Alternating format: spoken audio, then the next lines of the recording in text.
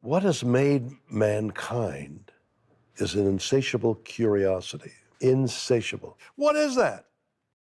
Nobody knows. The phenomenon. Nobody's ever done this as far as I know. It's a huge amount of work, a huge amount of data and equipment. That has never been done.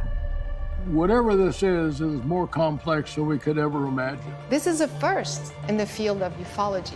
The variety of devices we're bringing as a team to study the phenomenon covered an entire spectrum of different technologies in real time.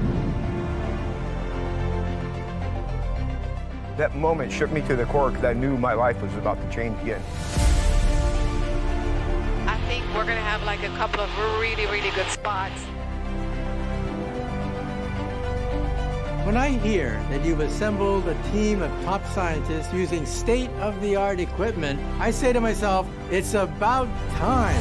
This is an unidentified, unclassified new phenomenon. Wow. Tic Tacs. Basic. Navy Tic Tac. Maybe. Caught on our cameras. Yep. That's incredible. Crazy. It isn't crazy, it's crazy. It's crazy. We can go from body heat to very cold, like about minus 62 Celsius or minus 80 Fahrenheit. Wow. We will be transmitting data up to 800 terahertz in frequency. Our highest technology is up around 500 gigahertz. I can't tell you how much I'm looking forward to seeing what you've uncovered.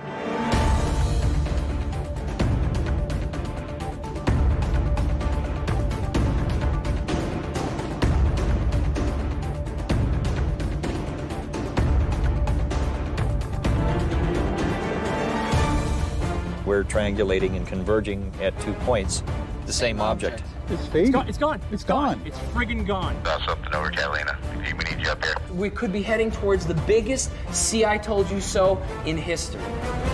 That's what we need the smoking gun that'll clinch it.